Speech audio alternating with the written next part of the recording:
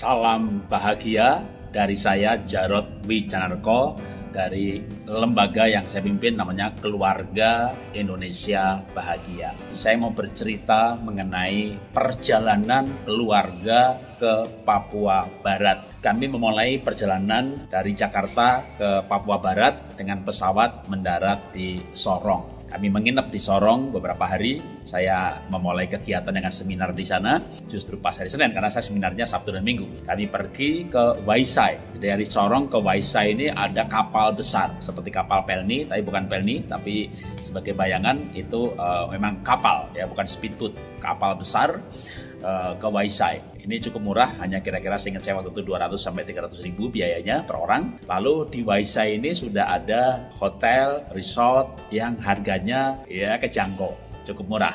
Karena kalau hotel-hotel resort yang ada di uh, wilayah Raja Empat, wah itu justru harganya mengagetkan gitu ya. Karena itu resort-resort yang memang ditujukan untuk turis asing dan dibuat eksklusif supaya tidak terjadi perusakan pantai atau pencemaran ketika dibuat publik yang murah. Tapi kita bisa merancang perjalanan yang tidak terlalu mahal, yaitu dengan cara kalau saya tidak ikut paket tour atau sebenarnya paket tour bisa lebih murah sih karena bisa rombongan ya. Tapi kami ingin eksklusif dan akrab, maka kami menginapnya di Waisai. Kebetulan saya juga punya teman di Waisai, karena memang saya ini punya teman di seluruh Indonesia ini.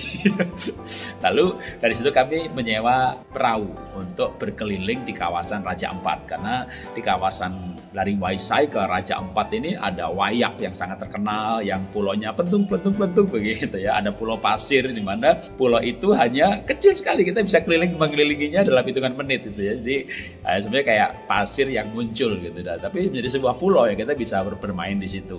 Dan masih banyak lagi tujuan-tujuan wisata di kawasan Papua Barat ini. Yang pasti untuk snorkeling luar biasa ya. Apalagi diving nyelam ke dalam. Terumbu karangnya cakep saya nggak sampai diving cuma snorkeling aja sudah bisa melihat terumbu karang dan ikan warna-warni yang wow indah sekali. Dalam perjalanan ke Wayak itu pun juga sepanjang jalan itu sebenarnya udah bagus pemandangannya. Kadang kita memang sempat ada kayak ombak gitu satu jam dua jam pertama. Karena itu, itu cukup jauh dari Waisai ke Wayak itu cukup jauh. Tapi ketika kita masuk di arah kepulauan yang di mana banyak pulau-pulau ada yang pentung-pentung-pentung ada yang tegak berdiri itu airnya tenang sekali kayak kolam renang. Waduh, ada lagi batu gitu ya, yang tengahnya tuh berowong. Jadi sengaja orang yang kami sewa perahunya ini rupanya sudah sering mengantar turis. Jadi dia tahu rute untuk lihat view-view yang terbaik gitu ya, untuk masuk di celah batu itu gitu. Waduh, jadi emang menurut saya Indonesia ini ya kalau saya pernah keliling dunia ini ya ke Swiss, ke Belanda, ke Eropa, ke Australia, ke Amerika, berbagai macam destinasi wisata sudah saya kunjungi.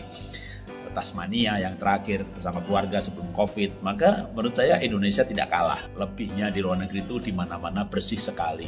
Maka kalau kita bisa menularkan dan mendidik bangsa ini untuk budaya bersih, maka sebenarnya secara nature ada Gunung Bromo, ada Raja Empat, jadi alamnya sendiri itu luar biasa. Waktu saya ke Raja Empat untuk sewa perahu itu memang harganya bisa dari dua jutaan sehari sampai 10 jutaan. Tergantung kita mau rute yang mana gitu ya.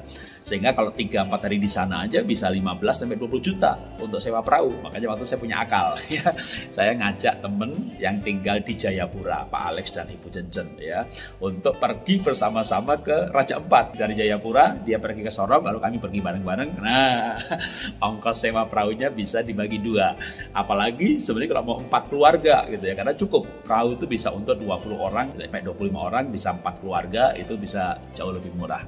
Waktu kami ke Raja Empat dan menikmati pemandangan yang luar biasa, tentu ini kami gunakan sebagai momen untuk menciptakan relasi di dalam keluarga. Saya memberikan tips untuk membangun relasi dalam keluarga kali ini adalah belajarlah untuk menikmati kebersamaan yang menyenangkan karena anggota keluarga itu punya keunikan masing-masing dan punya pekerjaan masing-masing. Misalnya suami yang bisnis dan memang sebenarnya tidak ada waktu untuk liburan. Kalau bisa mungkin setahun sekali Tapi kalau saya ini kan setahun bisa beberapa kali. Padahal saya juga bisnis. Saya punya waktu uh, sebelum bangkrut usaha saya ada IVA, MLM IVA Dasyat, ada sekolah animasi HHK Animation Academy. Istri saya mengurus Playgroup dan TK Happy Holy Kid. Belum lagi ada LSP animasi. Jadi usahanya banyak. Kalau saya mengikuti pekerjaan terus ya nggak ada waktu untuk keluarga, maka perlu mencari jalan tengah. Misalnya ketika liburan keluarga, maka izinkan. Anda harus memberi izin kepada pasangan, kepada suami atau kepada yang lain untuk ada waktu-waktu di mana dia akan telepon perusahaan, ngecek perusahaan. Ketika suami misalnya lagi liburan, dia buka laptop di hotel, mau ada internet, jangan dimarahi papa ini liburan kerjaan masih diurusin lagi. Ini waktu buat keluarga, malah jadi berantem. Kan perusahaan harus diurus juga. Kalau enggak gimana tidak dapat duit untuk pergi biaya jalan-jalan gitu. Jadi harus fleksibel. Misalnya liburan keluarga itu tidak berarti 24 jam liburan. Kan ada 6-7 jam buat tidur gitu ya. Lalu mungkin istri anak tidurnya bangunnya siang. Nah suami bangunnya lebih pagi ngurusin kantor dulu. Apalagi kalau memang ada hal yang penting yang yang ini kalau nggak dikerjakan malah kena penalti, kena klaim. Jadi istri perlu mencoba juga untuk memahami tanggung jawab suami. Jangan sampai usahanya gagal, kena klaim. Kalau kena klaim itu ruginya berkali-kali lipat daripada biaya liburan. Pernikahan tidak meleburkan dua pribadi menjadi satu. Masing-masing pribadi masih sebuah pribadi yang punya tanggung jawab, harus bahagia. Tapi kalau dia ngurusi pekerjaan terus, nggak sempat liburan, maka sebenarnya perlu belajar untuk untuk memahami, untuk fleksibel, untuk tidak kaku. Kalau pun liburan bukan berarti nggak boleh bawa kerjaan ya, tapi tidak liburan 24 jam kerja kan enggak kan. Jadi misalnya waktu makan pagi ngobrol, makan siang ngobrol, lalu waktunya anak-anak pas lagi main air, mungkin kita kalau memang nggak ada yang dikerjakan ya main, tapi setelah itu kita segera naik, mungkin cek perusahaan dulu kan. Zaman sekarang ini sebenarnya zaman yang memungkinkan hal itu terjadi. Kalau dulu kan nggak ada internet gitu ya, nggak bisa meninggalkan pekerjaan. Sekarang kita bisa dari bisa bekerja apalagi zaman covid ini work from home gitu ya. Kalau tapi kita bukan work from home work from the beach. Ya bekerja dari gunung dari pantai dari raja empat dari liburan. Tapi ketika yang satu harus mengerjakan urusan-urusan pekerjaan yang lain jangan marah anak jangan marah papa ini ngurusin kerjaan terus atau orang tua jangan marah. Kamu tuh liburan uh, ngobrol sama teman ngobrol sama papa. Makin dimarahi makin nggak mau ngobrol mau ngobrol apa dimarahi gitu ya? Akhirnya dia telepon teman. Nah itu juga biarkan ada waktu untuk dengan temannya istri dengan temannya, suami dengan teman. Tetapi tentu kita akan memberikan prioritas pada keluarga. Ada hal yang penting yang dilakukan. Nikmati saja kebersamaan itu, tapi juga berikan setiap pribadi untuk tetap melakukan tanggung jawabnya. Dengan demikian, liburan itu tidak akan terdistorsi oleh pertengkaran-pertengkaran kecil apa nih ngurusin kantor melulu gitu. Bisa kasih liburan tuh betul-betul liburan. Ya malah malah jadi malah jadi berantem. Nggak usah ngomong begitu. Ya kalau perlu malah aku bantu doa ya pak ya biar papa urusannya lancar. Jadi jadi teman yang baik lah gitu ya. Hidup ini kan perlu kebaikan perlu kebersamaan. Nah kalau dikit-dikit pertengkarkan ya sudah berantem terus. Liburan pun berantem terus. Lama-lama males liburan keluarga. Karena itu perlu kita belajar untuk tips bagaimana menikmati kebersamaan secara menyenangkan.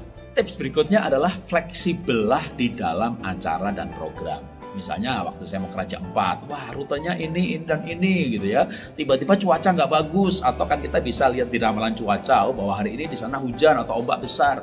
Kita harus fleksibel dengan pergantian rute, pergantian acara ya. Cincela, es oke okay lah gitu ya. Atau misalnya kita punya target ini ya. Waduh, satu hari ini kunjungin ini ini ini. Lalu anak pasti di titik, titik itu senang banget ya. Snorkeling bagus itu gak usah diuber-uber. Nah, ayo cepetan nanti kita nggak ada waktu untuk yang berikutnya ya. Berikut berikutnya snorkelingnya mirip lah kalau di sini happy ya oke okay lah. Karena memang hidup itu harus fleksibel. Bahkan bukan hanya di dalam liburan dalam urusan sehari-hari kita perlu ada namanya fleksibilitas ya kalau serba kaku.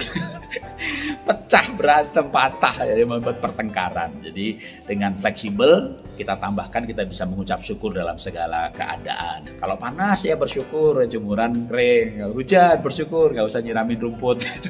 Jadi kita harus belajar untuk mengucap syukur, menjaga suasana sehingga dengan demikian keluarga bersama-sama suasananya menyenangkan. Dalam suasana yang menyenangkan inilah nilai-nilai, moral, etika, karakter dan juga relasi. Nilai karakter itu bisa diwariskan ya, bisa ditularkan satu dengan yang lain. Sehingga makin lama suami istri makin serupa, orang tua anak anak makin mendekati nilai-nilai orang tuanya, tapi juga lewat kebersamaan yang menyenangkan itu relasi menjadi kuat. Dalam relasi, orang tua bisa menasihati anak. Dalam relasi, suami istri bisa berbagi isi hati dengan baik tanpa pertengkaran. Mari kita membangun relasi yang kuat dalam keluarga dengan menciptakan momentum untuk kebersamaan yang menyenangkan di antaranya lewat family time.